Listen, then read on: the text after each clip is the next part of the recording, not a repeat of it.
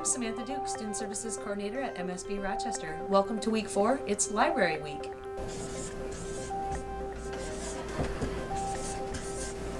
Hello, my name is Chad, and I am your math lab tutor. On Tuesdays and Thursdays from 4.30 to 5.30, stop on into the SRC, and I can help you solve equations like this. Hi, I'm Amy. I'm the Veterinary Technology Program Chair here at the Minnesota School of Business Rochester, and we are going to take a look at our students doing an observational surgery on a cat. They're going to do a spay and a declaw on this young lady.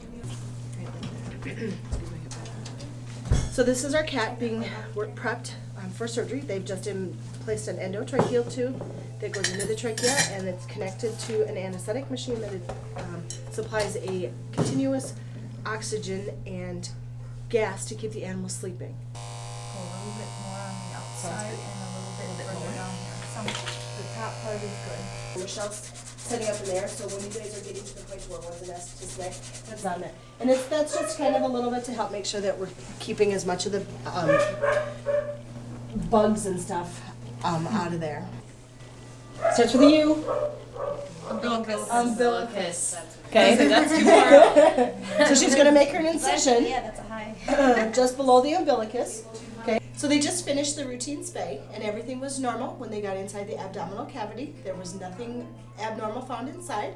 So the kitty should start to wake up from her anesthetic drugs here within the next two to three hours and be up and ready um, to walk around um, and take food probably within the next four to five hours. Carol Roos. I'm the campus librarian. I would like to uh, tell you about our new Library Research Award that we will have every quarter. It will consist of having students who get A's in, in their research papers submitting papers to a committee that will look at them, and then the first prize award will be a $200 gift certificate to your bookstore. So come on in, ask us questions, and we can help you out.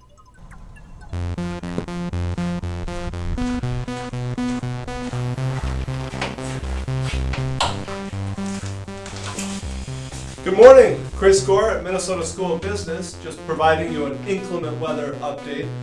On any days when we have inclement weather, make sure you refer to KROC, KTTC, or KAAL for any school closings in your area, which will include the Minnesota School of Business Rochester. Thank you and safe travels out there.